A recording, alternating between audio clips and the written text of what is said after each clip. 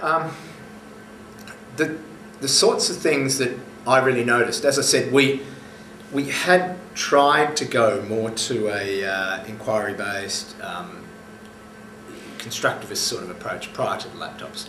But I've got to say, the fact that when the laptops came in, because we'd shifted the, the humanities department, it was just the arrangement of rows and the sharing across the middle of the kids, and the kids being more self-directed. Really, the teacher away from the front of the classroom.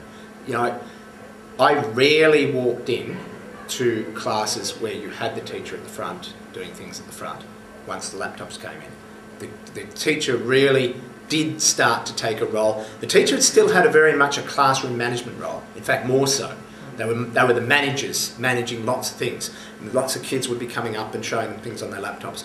But particularly when we had the intranet and a lot of stuff on the intranet and a lot of kind of um, assignment-based work and things like that. When I was in classrooms, a lot more often the kids were doing things on the laptop. They had all the tools they needed there. They weren't so much looking up here and listening to the teacher. So a lot less teacher talk, a lot more content that was on the machine itself, a lot more reliance on the machine.